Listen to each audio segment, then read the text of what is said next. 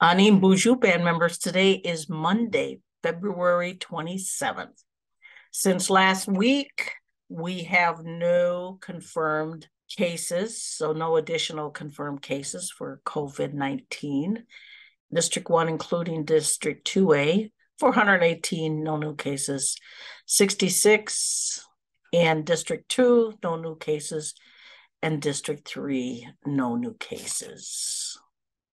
Health and Human Services and its outer district clinics will be closed Friday, March 3rd. Here in District 1, the Health and Human Services will be closed from noon to 5 p.m. In the outer districts, they will be closed, the clinics, from 8 a.m. to 5 p.m.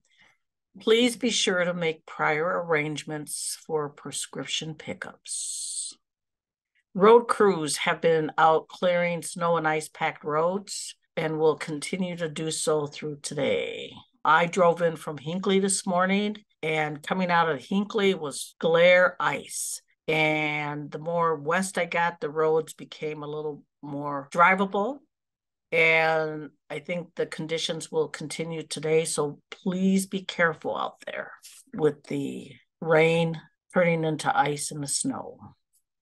Another reminder for February 3rd at the Old District 1 Community Center, there will be a fundraiser for the band's Family Healing to Wellness Court, and that will be fry bread and chili. And it costs eight bucks. You'll be supporting a worthy cause and have a good meal. So eight bucks is well worth it.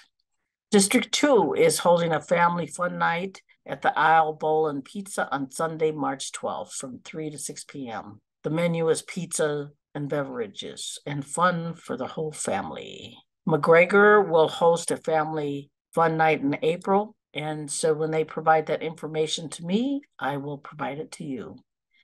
Mentioned this a couple of times over the past week, but the corporate ventures has scheduled the springtime elders gathering, and that is Wednesday, March 22nd, beginning at 10:30. And that would be at the Mille Lacs Events and Convention Center. All Mille Lacs band community elders are welcome.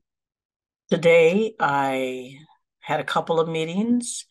I jumped on the Minnesota Indian Affairs meeting that is scheduled at Lower Sioux. Sheldon Boyd, our secretary treasurer, is in attendance today. And in a couple of days, it's a two and a half day meeting. I will receive updates and can share those with you. Also, I had one of the board meetings, and that was NAFOA. And there is a large convention that was scheduled in April. And this focuses on financial responsibility of tribes, very important very excellent convention conference that happens. With that, I think that is my news for the day. I will talk to you soon and be safe out there. Miigwech.